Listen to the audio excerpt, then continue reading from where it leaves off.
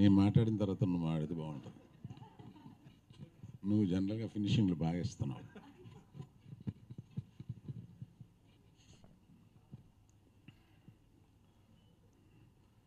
Feel good cinema ఆడదు. ఒక love స్టోరీలు ఇంటికి వస్తాయి అవి చూసుకుంటాం. ఒక స్వీట్ స్టోరీస్ అది ఇంట్లో కూర్చొని స్వీట్లు తింటూ చూస్తాం అని ఇట్లా అనుకుంటున్న తరుణంలో మనకి సీతారామం అని ఒక సినిమా వచ్చింది. అదరగొట్టేసింది. అలాగా ఆ క్లైమాక్స్ సీతారామంలో ఉన్న ఫీలింగు ఈ సినిమాకి వచ్చింది అని చాలామంది ఆ సినిమాతో పోల్చి చెప్తుంటే నాకు సీతారామం చూసినప్పుడు నాకు సీతారామం చూసినప్పుడు నిజంగానే సెకండ్ హాఫ్ అంత ఇంటెన్స్గా ఫీల్ అయ్యాను. కాకపోతే అందులో బోల్డ్ సార్లు హీరో హీరోయిన్లు కలుసుకుంటారు. ఇది- ఒక విచిత్రమైన కథ. ఇది ఒక నవల. ఒక నవలని చదువుతుంటే మనకి ఎంత ఆతృతగా చదువుతూ ఉంటామో ఈ సినిమాని చూస్తుంటే అంత అంటే అందులో విజువల్స్లో చెప్తారు కదా కదా అందులో సుకుమార్ పెన్లోంచి జారిన కథ ఇది. ఈ కథని మొదట్లో విన్నప్పుడు అబ్బా ఒక నావల చదివినట్టు ఉందా అని డైరెక్టర్ని దీన్ని విజువల్గా మరి ఈ లెవెల్ తీసుకురాగలమా?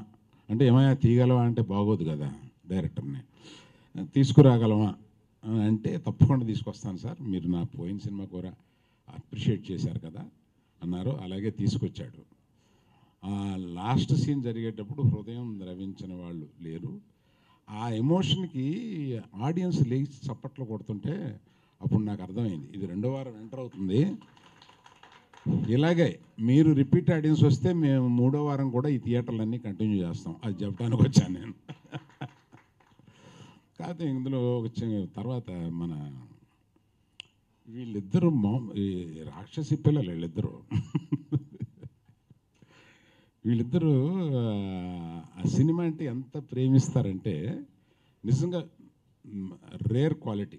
చాలామంది ఉన్నారు హీరోలు but it's a rare quality. ఇవాళ యంగ్స్టర్స్ అందరూ ఎంత ఇంటెన్స్గా ఒక సినిమా గురించి ఆలోచిస్తారు తప్పిస్తారు అన్నదానికి అతను నిదర్శనం.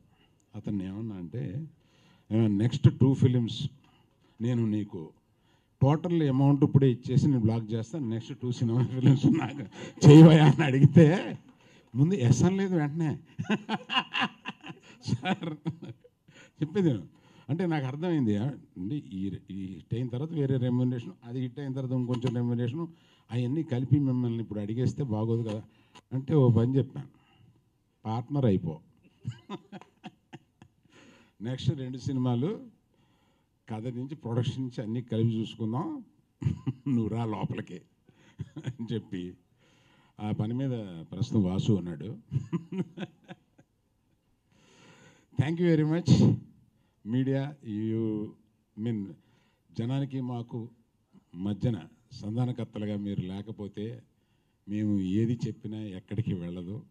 For that I thank you media I thank you people I thank you youngsters and